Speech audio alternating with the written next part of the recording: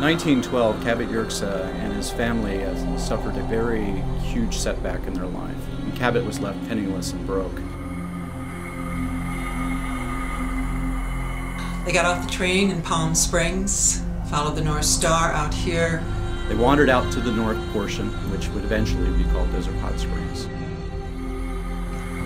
He began walking 14 miles for water. But uh, eventually, uh, he heard from a Native American about wells in the area. Cabot went out into the desert and he dug. And he got to a point in the ground where it started to get warm. He took a huge boulder and he dropped it into the well. And it broke through that rock. And there was hot water in there. So, in just one little area that he was in, he had hot water and cold water.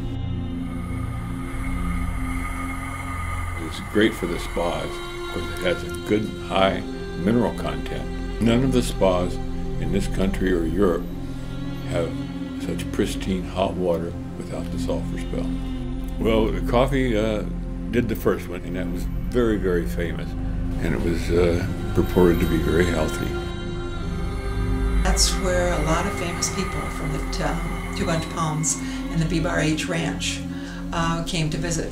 Um, John Barrymore, uh, Leah Sobel, Tennessee Williams. John Lautner developed Hotel Lautner, we named it after him, uh, for a movie director named Lucien Hubbard.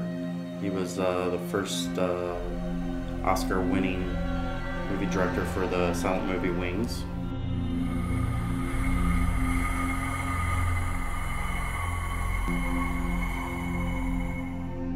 This is a, a, a great opportunity.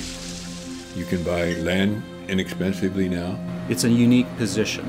You have the beautiful mountains of San Jacinto and San Gorgonio. I mean, water-wise, it's one of the most extraordinary places in the world. I think beyond that, there's an enthusiasm and an energy that has always impressed me about Desert Hot Springs. The tremendous amount of people who volunteer for social um, as well as historical. This will continue to be a key uh, portion of its celebration And we are going to be booming again.